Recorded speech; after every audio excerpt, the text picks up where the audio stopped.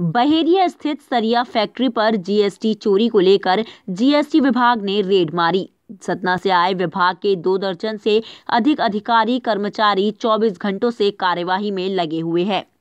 Factory के stock को seize कर दिया गया है। विभाग करीब तीन माह से इस इंडस्ट्री पर आने जाने वाले माल पर नज़र बनाए हुए था। बताया जा रहा है कि सरिया के मैन्युफैक्चरिंग इंडस्ट्री पर 20 से 25 लाख की पेनल्टी लगाई जा सकती है। वहीं शुक्रवार की दोपहर GST joint commissioner Satna Ganesh Singh Kanwar के नेतृत्व में जीएसटी की 22 सदस्यीय टीम ने चनाटोरिया स्थित सरिया बनाने वाली मीनाक्षी मैन्युफैक्चरिंग इंडस्ट्री पर रेड की, जहाँ जीएसटी की रेड से कंपनी में हड़कंप की स्थिति रही। वही टीम ने मौके पर मौजूद कच्चे स्ट्रेव और निर्मित माल को सीज कर दिया। हिसाब मिलान किया गया। जहाँ कंपनी के अधिकारियों और कर्मचारियों से पूछताछ की गई। वहीं ज्वाइंट कमिश्नर गणेश सिंह कंवर ने बताया कि सरिये के निर्माण के लिए इंडस्ट्रीज़ में जगह जगह से कबाड़ मंगवाया जाता है। फैक्ट्री में जितना कच्चा माल मंगाया जाता है, उससे काफ़ी कम तैयार माल शो किया जा रहा है। इसमें कर चोरी सामने आ रही है। फ़िलहाल बाज़ार से माल के रेट का मिलान किया जा रहा है, जिसके बाद पेनल्टी की कार्यवाही की जाएगी। कल हम लोग लगभग साढ़े बारह बजे यहाँ पे इस फैक्ट्री पे इंटर किए हैं।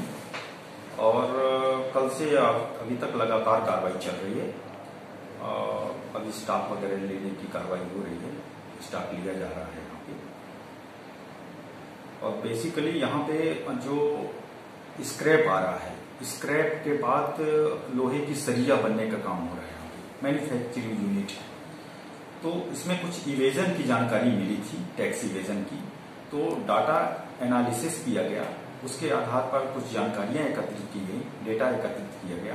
तो ऐसा मिला कि इनके इनपुट और आउटपुट रेशियो में काफ़ी डिफरेंस है। उस आधार पर वो हमारा बेस बना कार्रवाई का और कल जो है साढ़े बारह बजे हम अपनी टीम के साथ यहाँ पे इंटर हुए हैं और अभी भी पूरी लगातार कार्रवाई चल रही है।